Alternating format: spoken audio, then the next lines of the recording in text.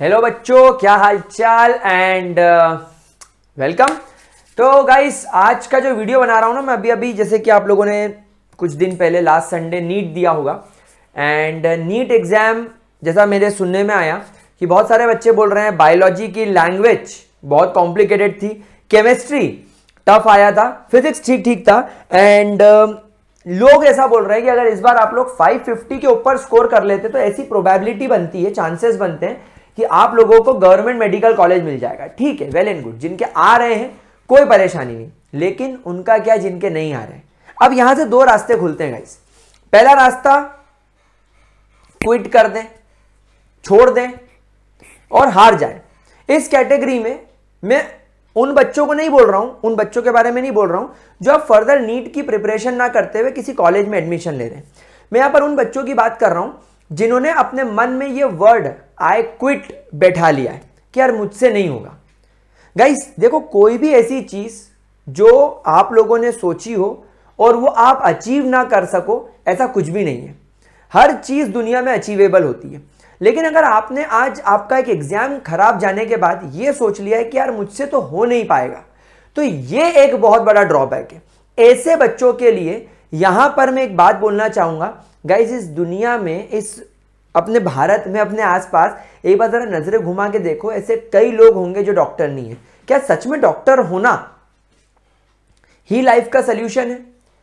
कुछ बच्चे बोलेंगे, सर, हमने एक साल का ड्रॉप लिया था। कुछ बच्चे बोलेंगे, हमने दो साल का ड्रॉप लिया था। कुछ बच्चे बोलेंगे, अभी हम लोग ड्रॉप नहीं लेना चाहते, हमारी फाइनेंशियल कंडीशन अच्छी नहीं है। बहुत सारे, बहुत सारी चीज़ें लाइफ में आपके आसपास राइट नाउ हो सकती है। लेकिन उसका क्या ये मतलब निकलता है कि हम लोग इस वर्ड को क्विट को अपने दिमाग में बैठा ले और खुद को लूजर समझने लग जाए? नहीं। ये मैं नहीं चाहता। तो गाइज़ अगर अब आप लोग फर्दर नीट का प्रिपरेशन नहीं करते हैं तो जैसा मैंने आपसे बोला, आप ये वर्ड क्विट बिल्कुल ना यूज़ करें। आप बोलेंगे, हम एक प्लान बी की तरफ़ जा रहे हैं। हर इंसान की लाइफ में दो प्लान होते पहला प्लान हमारा नीट था हम लोगों ने ट्राई किया, हम लोगों का अच्छा नहीं गया, हम लोग प्लान बी की तरफ़ शिफ्ट हो रहे हैं, हम और कोर्सेज देखेंगे। तुम्हारे सामने एक बहुत बड़ा एग्ज़ाम्पल मैं भी खड़ा हूँ। मैंने भी अपने लाइफ में मेडिकल एंट्रेंस एग्ज़ाम की तैयारी की थी। फ़र्स्ट अटेम्प्ट में मेरा नहीं हुआ एंड मैंने प्लान बी यानी कि फार्मेसी ऑप्ट किया and I am doing well I did well मेरे साथ में और भी बहुत सारे बच्चे हैं, बहुत सारे क्लासमेट्स थे मेरे, जिन्होंने प्लान बी यानी नॉन मेडिकल की तरफ़ पैरामेडिकल की तरफ़ चले गए और एक्सीलेंट काम कर रहे अपने लाइफ में। इनफैक्ट मेरे साथ में जो डॉक्टर बन गए ना, आज वो डॉक्टर बन के बेचारे घिस रहे हैं। सत्तर सत्तर हज़ार, अस्सी अस्सी हज़ार रुपए, नब्बे नब्बे हज़ार रुपए के लिए वो दिन रात मेहनत कर रहे हैं। दिन रात दवाइयाँ, गोलियाँ, ये सब में लगे हुए लेकिन उनसे ज़्यादा बेटर हम लोग हैं। एक अच्छी लाइफ है, शांत लाइफ है। कोई ज़्यादा लोड नहीं है, कम स्ट्रेस के साथ बढ़िया मज़े कर रहे हैं, लेकिन वो लोगों की लाइफ में स्ट्रेस ज़्यादा है। तो मुझे तो ये लगता है कि डॉक्टर नहीं बन के हम लोगों ने अच्छा किया। तो गाइज़ हमेशा एक बात ध्यान रखना कि डॉक्टर अगर आप लोग नहीं भी बन पा रहे हो ना तो it's not a big deal अब हम बात करते हैं उन स्टूडेंट्स के बारे में, जिनका अभी एग्ज़ाम शायद अच्छा नहीं गया और अब लोग मेंटल डायलेमा में कि हम लोग क्या करें। तो गाइज़ एक बात मैं आपको बताता हूँ कि जब तक आपके अंदर कॉन्फिडेंस नहीं आएगा, तब तक आप कुछ नहीं कर सकते। तो अब हम लोग यहाँ पर उन स्टूडेंट्स के बारे में मैं बात करने वाला हूँ कि अगर आप लोगों का पेपर अच्छा नहीं गया तो अब हम लोग क्या करें? तो वो सारे स्टूडेंट्स एक दो दिन अभी और शांति से बैठे, अपने पेपर को एनालाइज करें, अपने लेवल को एनालाइज करें कि यार हम लोग 720 में से कितने नंबर लेकर आ सकते हैं। क्या अभी हम लोग 300 नंबर पर हैं?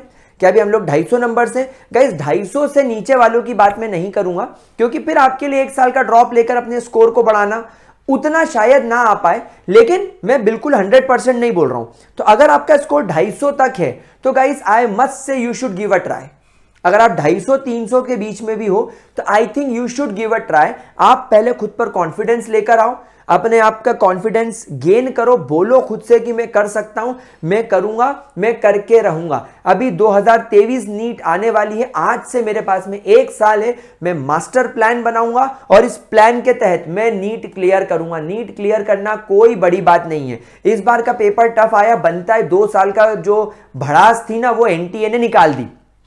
कोविड टाइम पीरियड की भड़ास इस बार निकाल दी। तो अब हो सकता है कि अगले साल का पेपर का लेवल इसी लेवल का हो। ये लेवल अच्छा था तो हम इसी लेवल की पढ़ाई करेंगे। हमारे साथ में वैसे भी कोविड वगैरह के बहुत सारे केसेस हुए हैं तो हम लोग शायद अच्छा नहीं पढ़ पाएँगे। Let's give us a try और गाइस यही ट्राई मैं भी ग्रेविटी सर्कल पर आप लोगों के साथ करूँगा। ग्रेविटी सर्कल पर जैसा आपने देखा होगा कि अब इस साल जो हम लोग जुगनू बैच और जैगवार बैच चला रहे हैं, ये दोनों बैच पर मैं यूट्यूब पर ही, इसी चैनल पर फ्री ऑफ़ कॉस्ट बहुत औसम तरीके के लेक्चर्स अपलोड कर रहा हूँ एंड साथ साथ हम क्वेश्चंस भी कर रहे हैं। आप लोगों के लिए और भी बहुत सारी चीज़ें इन डेवलपमेंट है, और मैं आपके लिए बायोलॉजी का भी अरेंजमेंट कर रहा हूँ उन चीज़ों में। अभी लेक्चर्स का तो नहीं प्रॉमिस कर रहा हूँ। केमिस्ट्री के लेक्चर्स आ रहे हैं केमिस्ट्री के क्वेश्चंस कर रहे हैं, और केमिस्ट्री का आपके लिए बहुत कुछ और भी चीज़ें प्रिपरेशन में चल रही है, और बायोलॉजी की भी चल रही है। तो गाइज़ अगर आप लोग ग्रेविटी सर्कल मेंबर हो इस चैनल का अगर आप मेंबर हो तो मैं आप लोगों के साथ हूँ आपकी नीट के प्रेपरेशन में। तो गाइज़ घबराना नहीं है। मेरे जैसे और भी कई एडुकेटर्स टीचर्स आप लोगों के साथ में लगे हैं। तो हार मानने की ज़रूरत नहीं है। अपनी मंजिल, जो आपकी मंजिल है, उसको अपने दिमाग में बैठा लो और बस आपको अब अगले एक साल तक, जैसे अर्जुन को मछली की आँख ही दिखाई दे रही थी, वैसे आपको केवल नीट दिखाई देना चाहिए। लेकिन आज, अभी, इसी वक्त, जो हो गया, उसे भूल जाओ। जो हो गया, सो हो गया। नीट बिगड़ गया, बिगड़ जाने दो। यहाँ से दो रास्ते चूज़ करो। या तो आज, अभी, इसी वक्त अपने माइंड में बैठा लो कि मैं अगले साल नीट क्रैक करूँगा और मैं कल से ही उसकी पढ़ाई में जुट जाऊँगा। आज थोड़ा सा अपने आप को और समय दूँगा और कल से पढ़ाई में जुट जाऊँगा।